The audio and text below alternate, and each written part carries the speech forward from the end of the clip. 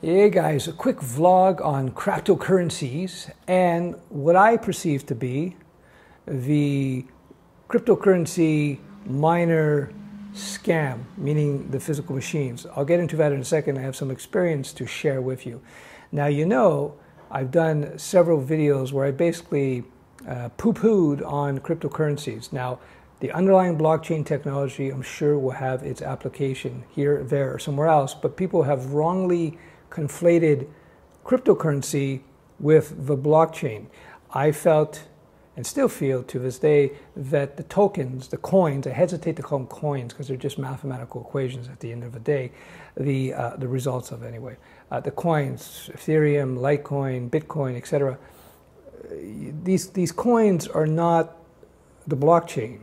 They're the product of a blockchain, but they're not the blockchain and I don't think that they have any intrinsic value. I think they will uh, go to dust at some point. Now, I don't have a crystal ball, but I was warning people when Bitcoin was 18,000 and 19,000 a coin. I was warning people when Ethereum was in the hundreds of dollars. Now these things have since collapsed in value, and the movement of the coins are all working together. A lot of the experts out there in cryptocurrencies are telling you stories like this coin was better than that coin, how this coin is going to do really good, and this and that. And you had some gyrations based on emotions and psychology and some marketing, some pumping. And a lot of articles come up showing there's been a lot of manipulation of the coin market. So you're, you're just, uh, when you're in the cryptocurrency space, you're investing, which is really just gambling you're out there like a, a small ship with no rudder, and whether you're you're up or down has nothing to do with anything but pure luck because there's tons of manipulation. So that said, you uh, there's a couple lessons to be learned about general markets with regards to this whole cryptocurrency thing. I've seen it several times before in different asset classes. I've seen it in housing, I've seen it in oil, I've seen it in dry shippers, I've seen it in cryptocurrencies, I've seen the tech bubble in 1999, 2000. So what have you learned? You've learned that when you have a particular space, like the cryptocurrency space, all the cryptos pretty much move together. They all go up at the same time, they all go down at the same time. They're all down. So a lot of the coins now have disappeared entirely, right? The big boys are still around, Ethereum, Litecoin, Bitcoin, of course, and others. But a lot of them has gone to nothing or practically nothing. We've also seen that the mojo has left the market, when, meaning a lot of the people that were interested, you were Bitcoin here, Bitcoin there, back, you know, there was all kinds of news. Now it's really died down because when people get burnt, when people jump into a market, whether it be housing, oil stocks, mining stocks, whatever, or cryptocurrencies, once they get burnt, they don't want to ever go back there again. It's not going to happen. So you need a new set of people to come and push the market up because there's actually no use case really in, in a big way, in a tangible, real way for Bitcoin.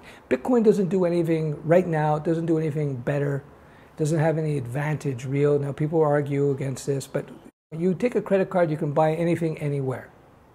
Bitcoin, you got to hunt, and there's all kinds of problems with that. Litecoin, you got all kinds of problems with that. Ethereum, all kinds of problems with that. Point is, let's look at that market. Saw how it went up like this, and then all this news came out. Oh yeah, Bitcoin, cryptocurrencies, the big investment. All these big whale investors are telling everybody it's going to go to you know hundred thousand a coin. And what we found out a few months later, a lot of these big boys were selling, as they were telling you to buy. They were selling. That's why they were telling you to buy because they wanted to sell. They had bought maybe a at $1,000 a coin, maybe they had bought at $100 a coin. Now they knew, because their experience, that when the coin's at 15,000, 18,000, 19,000, now's the time to get the hell out. I saw it silver and gold, same exact action. What I suspect will happen, based purely on my experience in markets and other uh, commodities, if you will, and other investments, you're going to see a slow drip down just, you know, nothing goes up in a straight line, meaning nothing goes like this. They go like this, a little up, a little down, a little up, a little down, and then you get a trend. Now the trend is now south, and you're seeing that. You're seeing what they call lower lows and lower highs, and that's not a good sign for any investment. So remember, all those people who are on YouTube, and some of them are big names. They were telling you how the new business is cryptocurrency, and they tried to make it out that cryptocurrency was some sort of um, there was some strategy to investing in cryptocurrencies or a secret to investing in cryptocurrencies. No, there wasn't. It was just a gambling. It's just gambling. It was just buying and hoping it would go up. Now the whole thing is, is slowly collapsing on top of itself. Anyway, again, could pop back up. I'm not an investment counselor, but you got to look at this type of thing highly speculatively, especially something you don't completely understand. Most of the people involved in cryptocurrency investment, most, uh, according to the analysis I've seen, is be people between 18 and 35 year olds. Basically, people who have not gone through a cycle of boom and bust, bubbles and collapses. They don't understand. So there's a lot of noobs involved in that market. And there's a lot of expectations that they have based on articles that they read. And you got a lot of people talking to each other who have never done this type of stuff before. So with anything that you're not sure of, you've never done before, you approach with extreme, extreme caution. So let me talk to you about uh, the crypto miner scam. In my opinion, it's a, a scam. Uh, you know, I don't, I don't know. I have no insider, information. This is purely on my perception. Scam might be a strong word, but it's kind of a dark horse type of business, in my opinion, at the very least. So, what are we talking about? We're talking about miners are basically machines, computers, sometimes custom built machines that basically mine cryptocurrencies. And so going back several months, I decided, a friend of mine called me up, decided in terms of an experimentation, we decided let's buy a couple of crypto miners just to see what it's about, right? So somebody we knew said, come on, Stef, buy a whole whack of them. They wanted to buy uh, well over $100,000 worth of these machines. I said, no, I'm not doing that. I, you know, we looked at it, we studied it. The big question we had up front was whether it was better to buy the mining machines and mine the coin, or whether it was better uh, to just buy the coin themselves and hopefully it goes up and you sell it, you make your money. So we decided to buy the machines more or less because it was it was more of a nerd exploration. We just wanted to learn about what it's all about. One thing you learn in life, you don't really know until you get into it. You don't really know what a fight is about until you've been into a few fights. You don't know what it's really like to uh, build software until you build software from A to Z, deployed it to market, and get got the feedback from people. Uh, and you don't know what it's like to invest or to mine cryptocurrencies until you bought the miners, brought them back, set them up, started mining them, set up your wallet, and all this kind of stuff. So we wanted to learn that. So we just bought a couple of machines. And I'm so happy that we only bought a couple machines because so we get these machines in. And first of all, they were super noisy. When you put them on, it was like a vacuum cleaners. I think I put a, what do you call, shop vac vacuum cleaners. That's how loud they were. And uh, we only had two, thank, thank heavens we only had two. So we bought these two machines. They turned out to be vacuum cleaners, super loud, super noisy, sucking a lot of energy. And luckily, I put them in my friend. We put them into my friend, friend's shed out in the backyard, so nobody can hear these these loud, loud machines. And when we placed the order in September for the machines, they were paying out something like five, six hundred a month, maybe seven hundred a month, depending. You know, these things. The values of the coins fluctuated, as did the difficulty. As more and more people are mining coins, difficulty increases, right?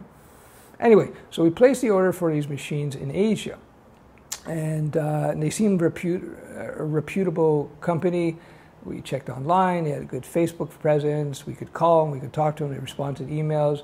We said, okay, let's try it with two. Now we had to wire the money out to Asia, and that's a bank transaction. It's kind of funny. A, a company that is selling you machines to mine cryptocurrencies only accept a traditional wire transfer through traditional banking, not cryptocurrency payments. Or maybe they did cryptocurrency, I'm not sure, but I think it was only wired, but that's another story. Anyhow, so we wired the money over. And then after we wired the money, we had to wire them, I think it was 60 or 70% of the value of the machine to get, and they, they promised us two weeks to deliver. So then it was two weeks, and it was a month, and it was two months, and three months, and four months. So they, they, they sat on our money for four months. And now, what do you do, right? Now, the machines were still paying out decent money, but every month they were making less and less and less money as more and more people jumped onto the game. And so we realized at that point it would have been much better off to just buy a coin because we didn't anticipate that these, these, uh, these people out in Asia were going to sit on our money for months. What I suspect they were doing, because it was not just us. There's a lot of other people I know who are buying these machines. What I suspect was happening is these companies would take the money, cover the cost of the machines, and then put them online and start mining the coins. Why not? They would mine the coins for three, four months when they're most profitable.